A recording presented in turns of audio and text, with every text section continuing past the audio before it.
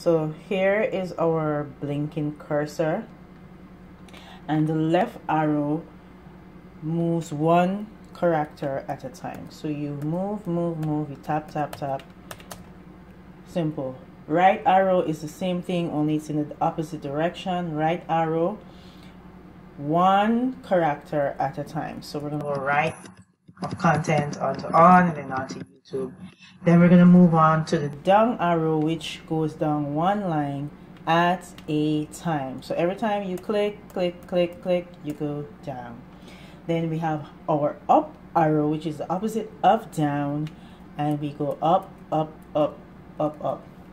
And then we have our control left arrow. So control left arrow takes you left one word at a time. So we just went over glitches. So what we do we hold down the control arrow which is here and then we go left and then we go R and then error. So it skips over everything and it applies the same thing for right. It skips over every word every punctuation mark every space. So let's start from errors so we're going right. So it's going to go over errors over the comma and the space over er and the space over glitches and the space over changed and the space. So it's pretty straightforward. Now we have our home button which takes us to the beginning of the current line. Some desktop keyboards have the home button standing alone. In this case it's incorporated with the left arrow. So to get that to function we press alt home. We press function home. Okay? So function which is fn home that's how we activate the home button.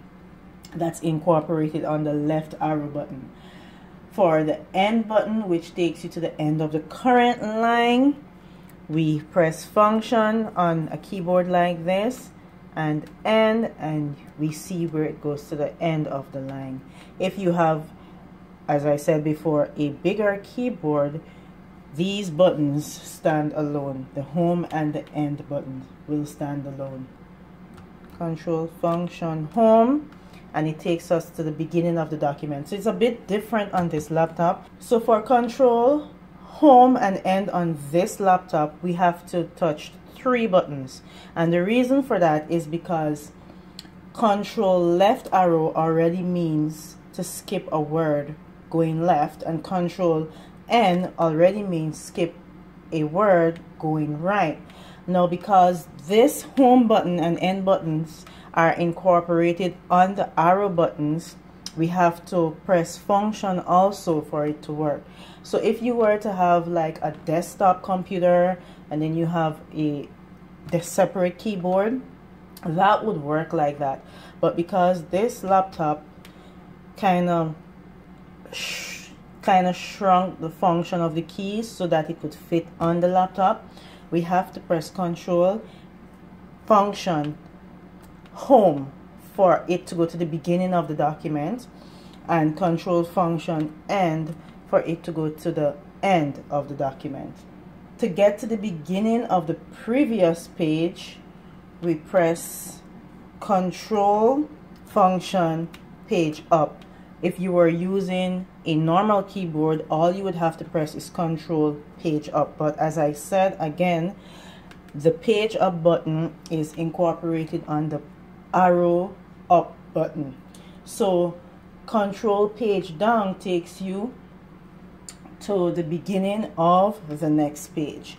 So again, because this laptop has the page down button on the arrow key, we have to press this function key along with the control key. So we're going to go control function page down and it takes us to the beginning of the next page. Then we have our page up option which takes up the screen one screen at a time or or up one screen so we're to press function up up up, right? And for page down, we're going to press function down, down, down. Remember, if your keyboard does not have it incorporated like this, you won't have to press the function keys.